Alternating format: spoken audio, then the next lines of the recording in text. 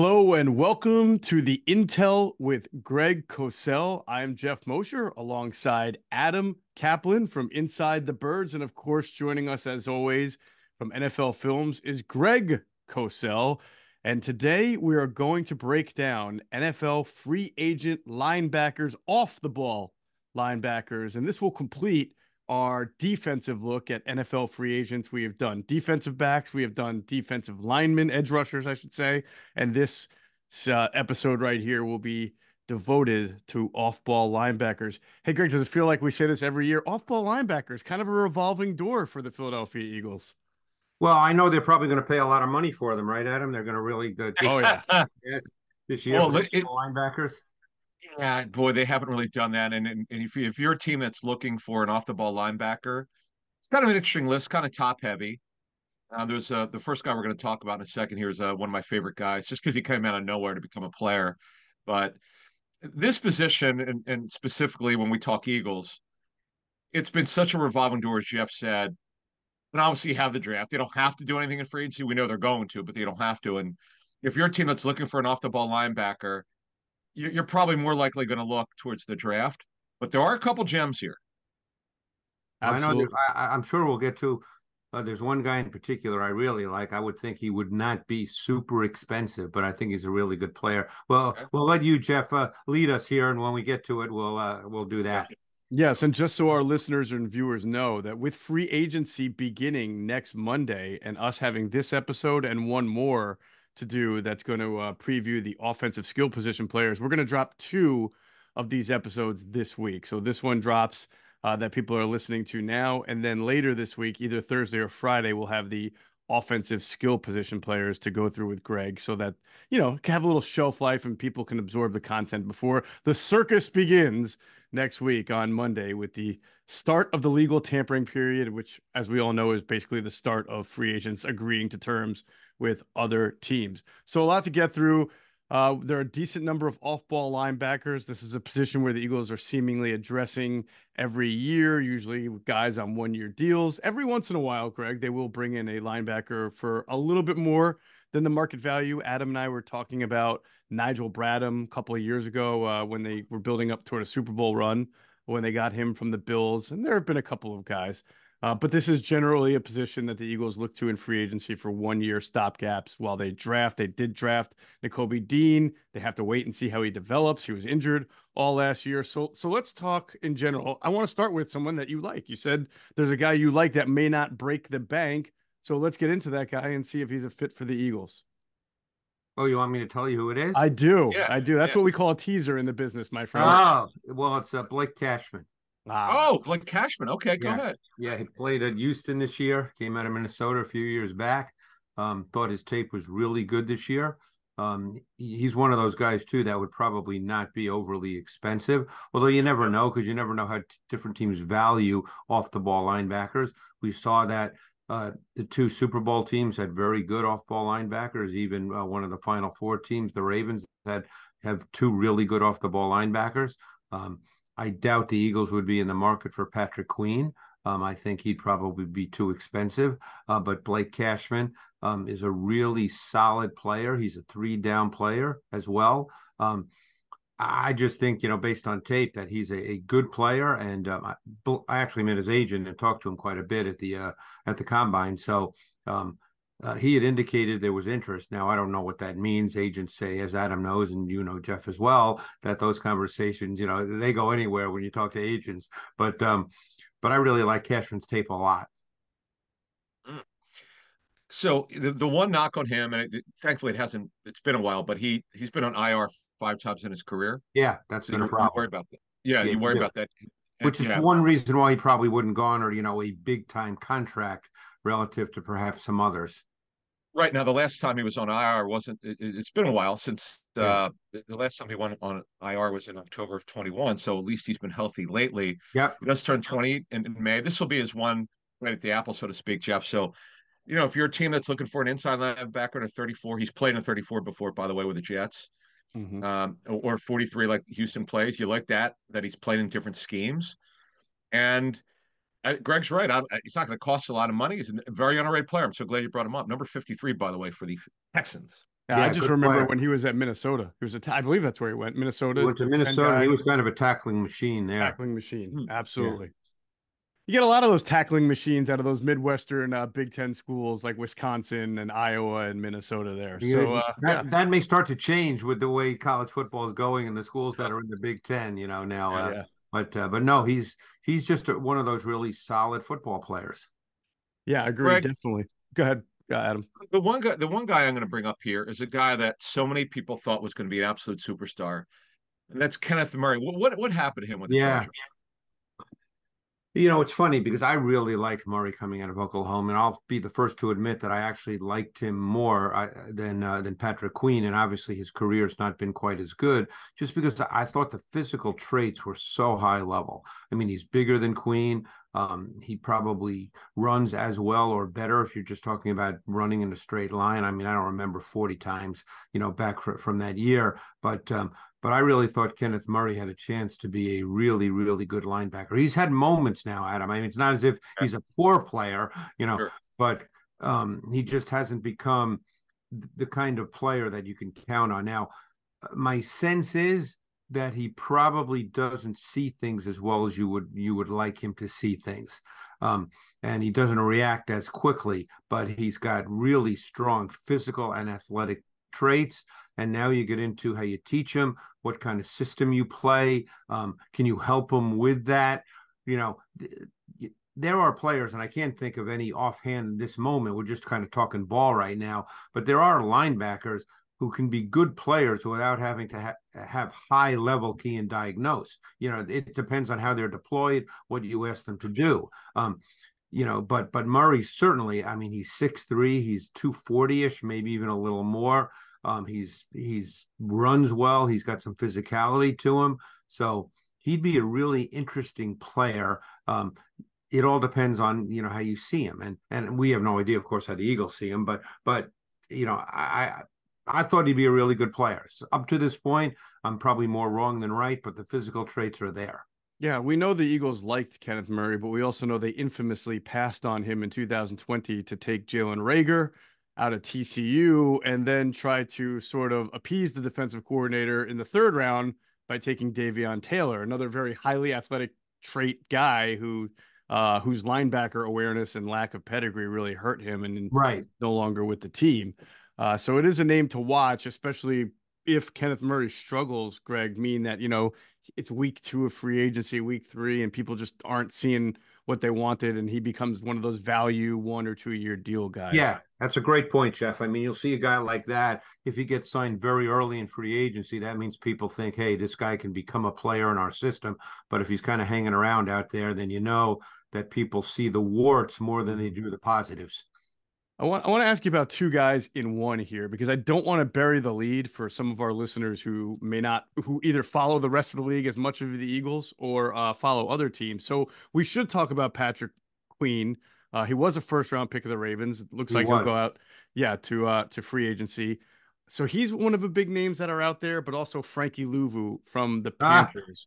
Uh, that's one of Adam's favorite guys, and He's not getting a lot of play, by the way. I Yeah. spoke to his agent as well. Um, that surprises me. We'll start with Luvu.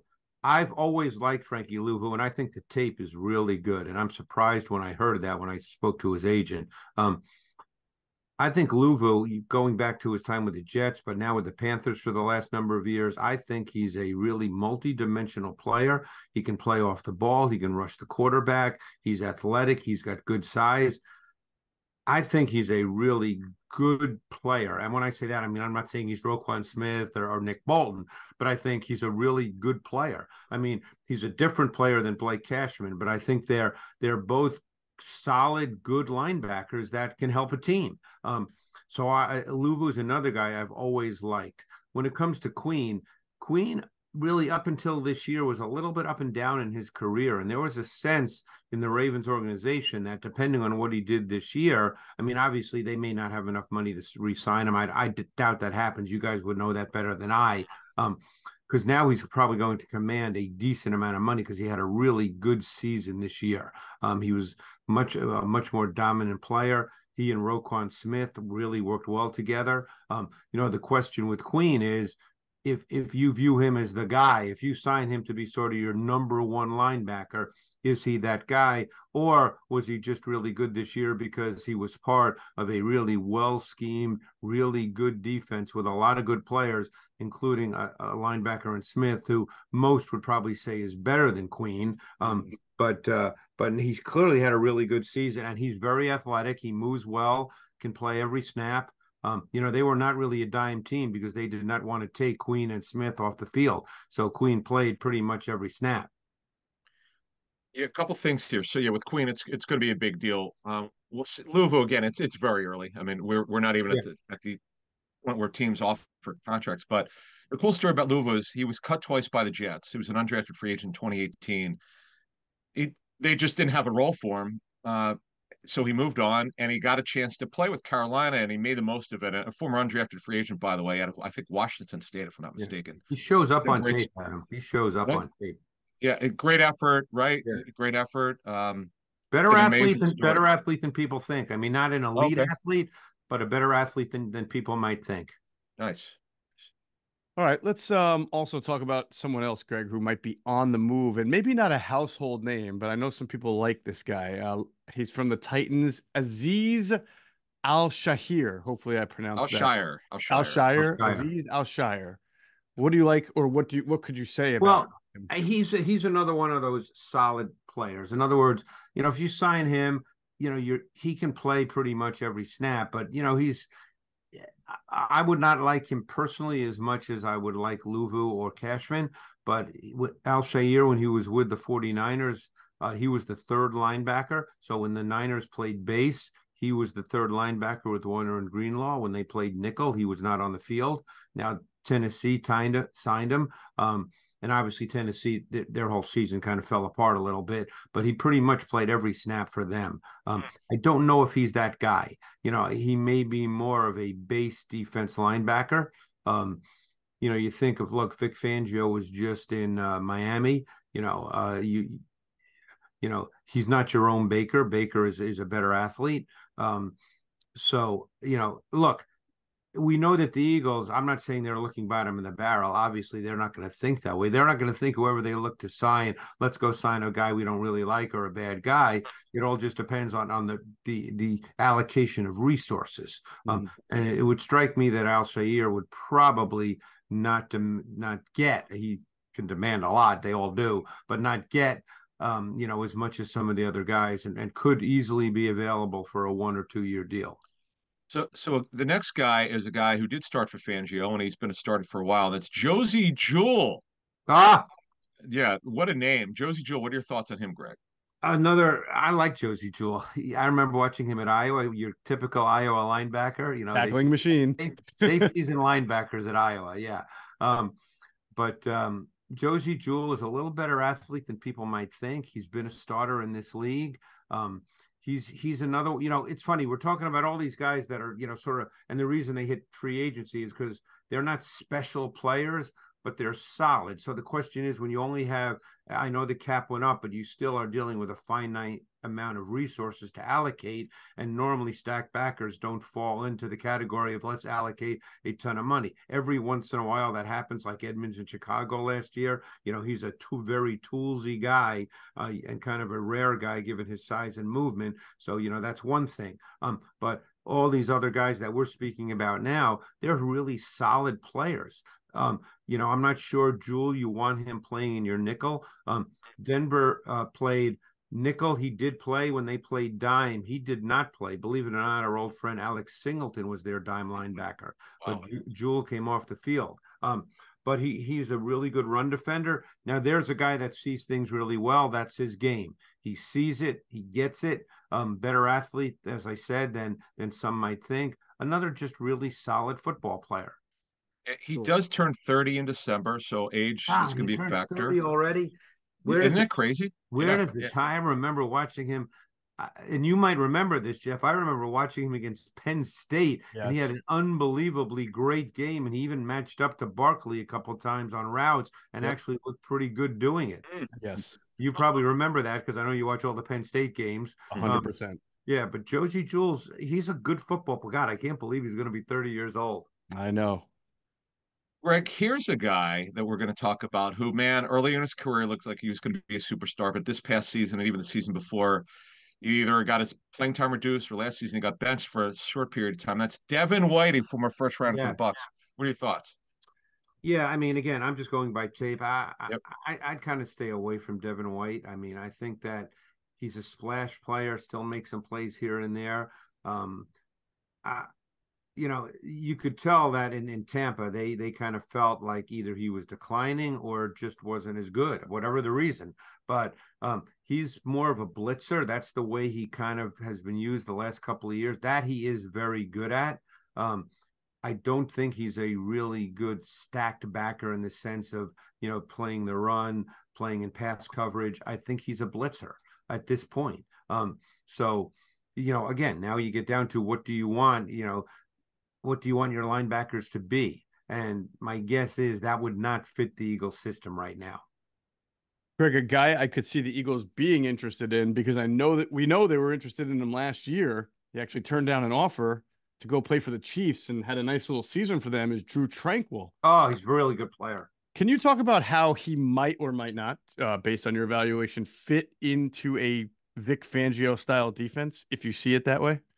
I think Tranquill fits anywhere, and not not because he's the best linebacker in the league, right. but I just think you know his traits. He's he's really smart. He's really aware. Um, you know, obviously, when you play for Steve Spagnuolo, you do blitz, so you know, so he can do that well.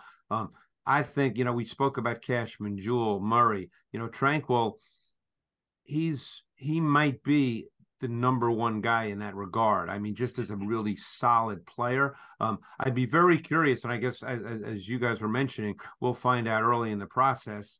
Um, but you know, normally stacked backers don't garner a ton, as we said. So it, you know, he may not sign the first day or two, but he could. I mean, he could be one of those guys. But I think Tranquill is a really good player, and I know that Kansas City was thrilled to have him because Bolton got hurt and missed a bunch of mm-hmm. games. Gay got hurt and missed a little time, and they were thrilled to have Tranquill because he is a really good football player. He's he's kind of a complete multi-dimensional player. Um, I was actually surprised when the Chargers kind of let him go. I think he's a good player. So, Greg, if you're a team that's looking for a three-down linebacker, is that something you could see out of him? Yes, for sure.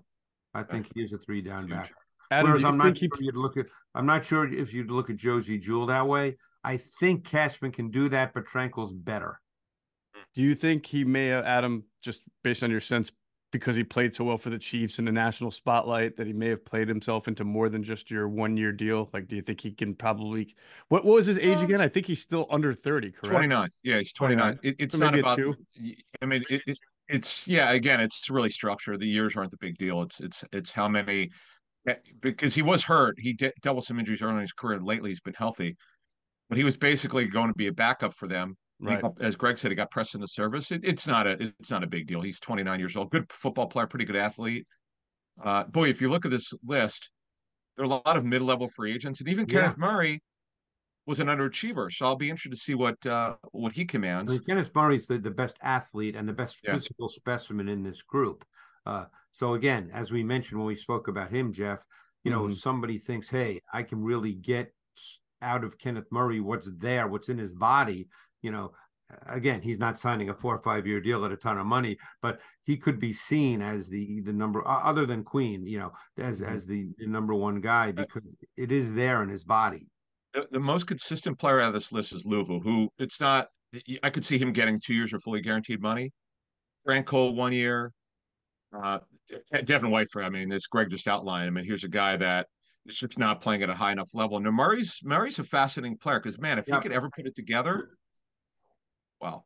Well, yeah. let's talk. Let's quickly talk about the traits that we should l- look for. I don't mean athletic traits. I mean linebacker traits for this defense. And, and again, Vic Fangio could do something differently. It's not like he's been the same guy throughout his career. But what we know of Fangio over the last few years is that he's not going to blitz a whole lot, right? Um, it's not like he looks for linebackers who are going to have your, you know, six to eight uh, sacks a year. He, he plays a lot of zone. So you're looking for an athletic linebacker who knows how to take drops, who has good spatial awareness, who has good athleticism side to side. Greg, I mean, is that is that sort of a fair assessment? Yeah. Well, what... Uh, you know, one of one of his key principles in zone coverage is what they call match carry deliver. Right. And you know, so your linebackers have to be really good at understanding routes, understanding splits, understanding when to you know when to match, how far to carry, when to deliver. Yep. You know, it's a mental game. It's yep. all a mental game. Um, and which I, again, I don't want people to think that doesn't mean you need good physical traits, but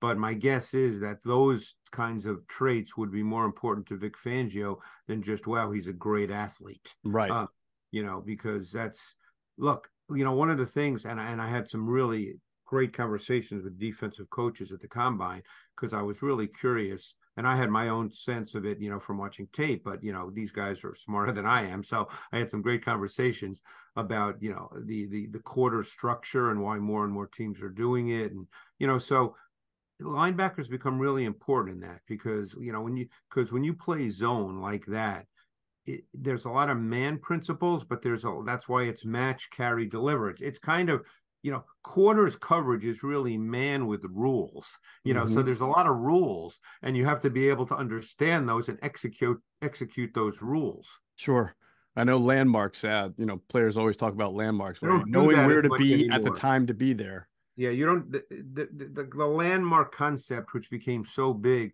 back in the '90s with Tony Dungy with Cover 2 mm-hmm. um, and even with Cover Three for years. But sort of the landmark principle is not as big now because you don't want guys just dropping back and staring at the quarterback. Mm. You know, you need them to react to routes. You need to match routes, pass That's on routes, understand splits of receivers. You know, I mean, when it's three by one, what what are the tendency of, of route concepts and combinations? When it's two by two, what are they? You know, so there's a lot more involved now, and you and your linebackers, and certainly in a Vic Fangio defense, not the only defense like this, but certainly in his, where you really need your linebackers to be aware of how to do all this, or you kind of you kind of get screwed it, one more thing before we move on. Tranquill played when he's playing with the Chargers. They moved to more of a Fangio style defense two years ago. Um, so with under Brandon Staley, so that there, there yeah. might be a match there on, on that principle. Just in terms of understanding methodology, terminology. Yes, yeah, I remember talking yeah. to the Chargers about that. Yeah, that's what they told me that they were moving towards yeah. that. That was, that was sort of the trend. And uh, anyway, so yeah, this is a it's a kind of an interesting list. You know, it may not be the superstar list, but there's there's talent here. There, there yeah, are... I'm, what I'm real curious about, and, and we'll find out early, Geoff, as you mentioned, is you know the guys that might be considered, hey, we want to go get this guy, or you know, hey, let's wait, and three weeks later or four weeks later, we can sign this guy, and even though he's a good player, you know, we, we don't have to give him a long term deal for a lot of money. Yes, history says that would option B is the, the route right. the Eagles will go, but again, uh, well, for the Eagles, that, that yes, yeah, yes. different coordinator. And, and, the big and the big question, I think, um, and you guys know this better than I, is Nakobe Dean. I mean, number one, can he play because he's been injured? And what is he as a player? We don't really know that. Mm-hmm. You know, just because he played at Georgia, there's a sense that man, if he plays, he's great. We don't know that. You know, so he's kind of the elephant in the room right now. Do you think it matters with Nakobe Dean, Greg, when they're in their base run defense, which you know could be five two, it could be could be four two at times, you know, even if right. it could be a nickel, but expecting the run. What he's one of the two stack backers on the field. Does it matter if he's considered weak side or Mike to you as far as the volume and the punishment on his body in that regard? Um, you know, again, I don't know all the details of how that's coached. Okay, mm-hmm. um, if you're going to play a five-two front as your base, you're going to have two stacked backers. Now you start getting into the the, the lining up of the front what the offense looks like, what's considered the strength of the offense. Would he be considered, you know, the, the Mike, in which case he'd line up probably to the passing strength or, right. or, or, the running strength, depending on how you map it out. Um, you know, it, you get into all those issues. So I don't know how Vic Fangio and staff would view Nakobe Dean if he's indeed healthy and can line up and play, but he'd be a stack backer. You know, it's right. just now you get into all those those nuances and details. I don't know how they would see that. Okay. Awesome. Uh, last thing, let's wrap it. There, there's two Cleveland linebackers. One of them who just jumps out to me a little bit. Uh, Sione Takitaki and Jacob Phillips. Any of them, based on the traits we discussed, the the football IQ to play in the Fangio defense, stick out to you as potential Phillips, good fits? Philip, the LSU kid. Mm-hmm. Uh, actually, was he LSU? Was it LSU? Was I'll tell you in a second. you kid, Uh, or am I wrong on that? LSU, you're correct. No, you're correct. Yeah. Yeah. LSU. Yep. He's then then I remember him. I couldn't. Yeah, I just had to kind of get Been my hurt a lot, unfortunately. Yeah. Yeah. yeah. Yeah, bigger kid. Um, I think he's pretty much a, a base defense linebacker. Okay. You know, he you, you wouldn't play him in your subs. Um, you know, because he's bigger kid and he's he's more of a run defender than than anything else. Um, he certainly is going to be a one year deal guy. I mean, no one's going out and signing him to a long term deal. Takitaki played in their base in Cleveland. He did he, he did end up playing in the nickel uh, because of injuries, I believe, because of Anthony Walker getting hurt quite a bit. So Takitaki, so he has experience playing in both. But when all the linebackers were healthy, he was not in in the sub defenses. Um, Right. He had to because of injury. Um, so my guess is he'll be seen more as a base defense linebacker and not as a sub defense linebacker. Well, there's definitely a lot of base defensive guys who are out there. If the Eagles are just looking to find somebody to pair with, Well, right now they need to line then- up people, Geoff. Right Yeah, I now, know. i- i- if they had a game tomorrow, we don't even know who they'd line up. That's a great point, Greg. That is a great point. Hey, I do want to ask you this before we close out. I know we keep saying this, but I would like um, your assessment. I know he only played one game for the Eagles. Well, started one game or played in it against the Giants, but Ben VanSumeren is a guy who's going to get a little bit of a look. And I, I do recall, I thought you kind of liked his tape I liked him. against the Giants. I- to be honest with you, I I thought in that one game he played as well as any Eagles linebacker this year in that one game. Wow, Now maybe that's not a high bar. I mean, yeah. it, true. it may not, and I, I didn't say that to be sarcastic. We know Sure. Nick Morrow, you know, Nick Morrow is not very good. Um, but um, I, I kind of like what I saw. Mm-hmm. Um, the guy's a really good athlete. I, he's got some twitch and suddenness to him. Obviously, he would need to play more to gain, you know, more recognition skills. Um, but and I'm sure you know that would be viewed, you know, potentially as an issue. Again, new system now. Who who knows? You know, but the guy's a really higher level athlete. When he when he sees it, he goes. Um, you know, I, I thought that game in which he played, I thought he he played pretty well. I, I liked what I saw in that one game.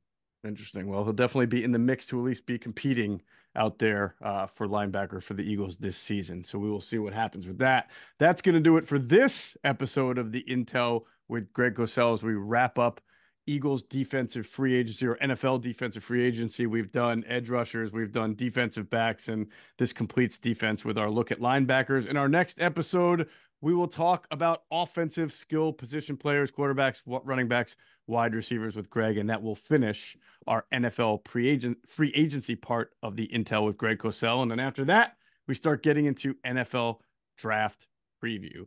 So for Adam Caplan, I'm Geoff Mosher, and for Greg Cosell, you've been watching the Intel with Greg Cosell.